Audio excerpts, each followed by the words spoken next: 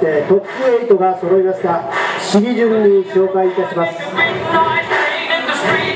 田中里奈さん鹿児島第一。3回目までが4メートル89林七海さん舞鶴3回目までが4メートル89竹原理香さん桜ヶ丘。4メートル94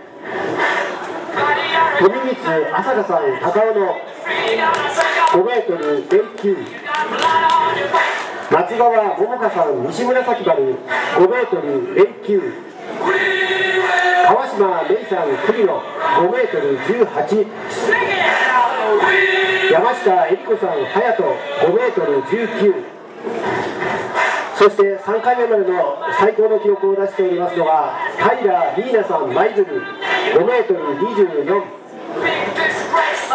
以上の8名がトップ8です。これから4回目の試技に向かいます。皆さん頑張ってください。